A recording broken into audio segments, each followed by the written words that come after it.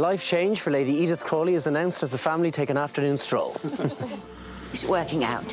Henry and Mary living at Downton? As far as I can tell. Now I'm just a poor man being supported by a rich wife, and that's not what I want for you. I'm so in love with you, you know. This is your moment. And well done to you. hey, goodbyes.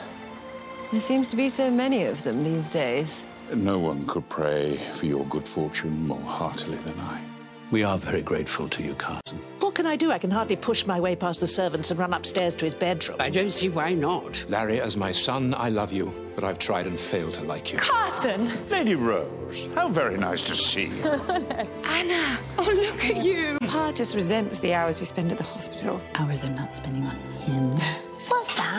What's that? It should be a hairdryer for Lady Mary. Daisy's come to talk to you, not me. He's nice. You could do worse. I could do a lot better and all. Edith sends love. She's gone to London. Not to see Bertie, I assume. I've never had a proper chance to say thank you for rescuing me. Glad to do it. Hands to the pump.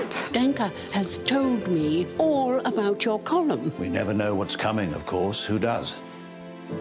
But I'd say we have a good chance.